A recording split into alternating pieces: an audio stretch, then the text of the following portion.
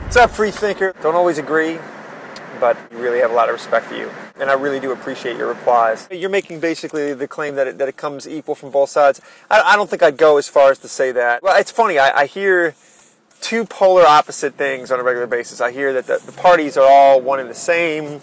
You know, I get that a lot, especially from people who like my Christian channel but politically differ from me a lot. I get this notion that because you're a conservative, you, know, you just drink this Kool-Aid, there even is a difference between the two parties. And, and I feel what they're saying too. Uh, essentially, it's like Democrat and Democrat light, in my opinion. Like the other complaint is there's just all this hard line partisanship that the country's way too divided. That the two parties do not have enough common ground. It's, it's kind of funny to me that I get I get complaints on the two ends of the spectrum. What I would say to you, free thinkers, if you think about even 2008, by everybody's measure, really close to the most liberal senator that Congress could cough up on the left side of the aisle. The guy mirrors this, you know, the social democrats of Europe by way of his thinking and his policies.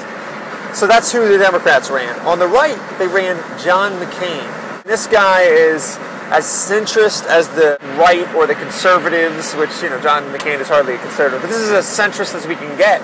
And still, the left complained about his far right stance. It's all nonsense.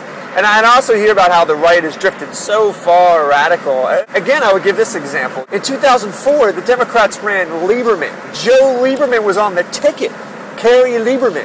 Now the guy's ostracized. Jump ahead four more years, and we run the most centrist senator in John McCain, and the Democrats run a hardline socialist. Who's drifted?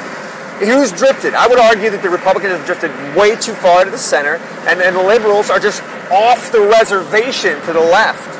And I don't really see how you reasonably argue with that. I don't even like to associate myself with the Republicans. But clearly, between the two parties, Republicans are much more the safe bet if you want fiscal sanity. And at this point, that's the most pressing issue.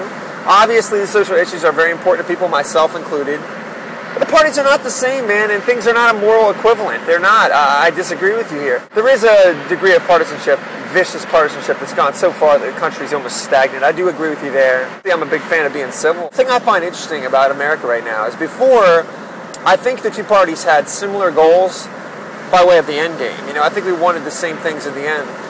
We're just kind of different on how to get there. I don't think that's the case with the country today. It's almost as if we want two different countries. And I don't think that's going to fix itself anytime soon because I think ideologically that's just a fact. I think the two parties want totally different things. And in a lot of those areas, I don't see where you find common ground. Where do you find common ground on people who want completely different outcomes than you? I don't know. Country's in a really, really interesting place. Somebody's going to win this battle. I hope it's the conservatives. If you're not sub the free thinker, you need to be sub to him. Yeah, I call him the UN. You know, him and Jack are like the UN of YouTube. In a good way. If the UN was competent and worth its weight in salt.